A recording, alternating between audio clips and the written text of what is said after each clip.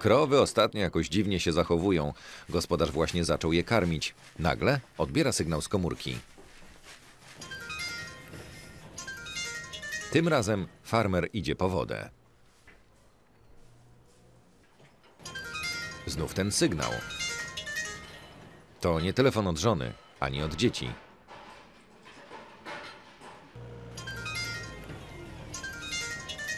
To sprawka pewnej małej, tajemniczej skrzyneczki. Od kiedy tu stanęła, Ulrich Westrup jest fanem techniki.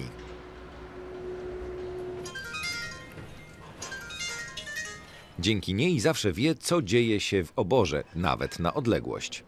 Dla hodowcy bydła z Dolnej Saksonii skończyły się czasy romantycznego pobrzękiwania krowich dzwoneczków, teraz czas na nowoczesną technologię.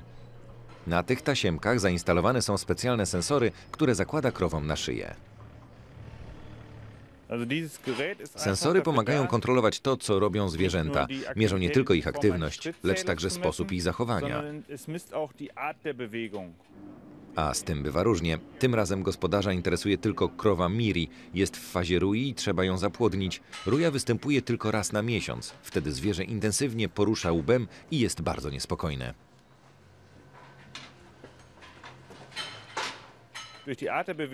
Gospodarzowi wiele mówi sposób, w jaki porusza łbem.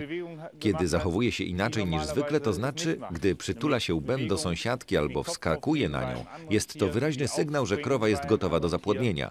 Te wszystkie informacje otrzymuje teraz za pośrednictwem komputerowego sensora na telefon komórkowy. Jednak zanim zadzwoni komórka niemieckiego farmera, sygnał przekazywany jest najpierw do centrali operatora we Francji. Stąd w formie SMS-a wędruje do niemieckiego operatora i dalej na komórkę hodowcy bydła.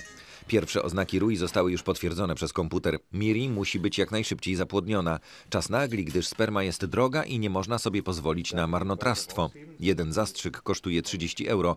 Żeby nie tracić czasu, hodowcy często sami wstrzykują nasienie. Przegapić czas płodności oznacza, że zapłodnienie opóźni się o 3 tygodnie. W ten sposób rozród przesuwa się w czasie.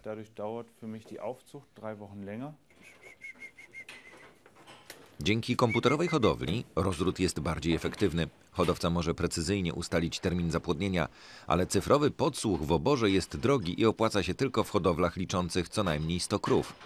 Ulrich Westrup ma ich 600. Zakupione przed rokiem sensory kosztowały go 20 tysięcy euro, ale korzyści przynoszą mu już dziś. Czujniki zakładane są nie tylko na szyi. Tydzień przed porodem na ogon cielnej krowy zakładany jest specjalny termometr. Ulrich Westrup docenia zalety nowej technologii. Wieczorem może spokojnie we własnym fotelu pooglądać mecz piłki nożnej. Właśnie strzelony został pierwszy gol. Wynik meczu 1 do 0. Nagle odzywa się komórka z informacją o rozpoczęciu porodu. Termometr został odrzucony i leży w słomie na klepisku. Tym razem jest to bardzo skomplikowany poród. Ciele jest za duże. Gdyby hodowcy nie było na miejscu, ciele nie przeżyłoby tego.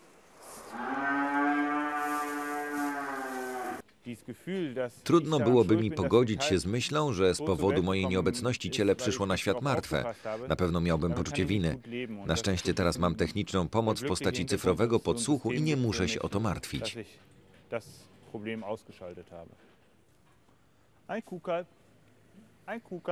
To cielątko zawdzięcza swoje życie alarmowi z komórki. Wysoka technologia cyfrowa w oborze to już nie fantazja, to rzeczywistość.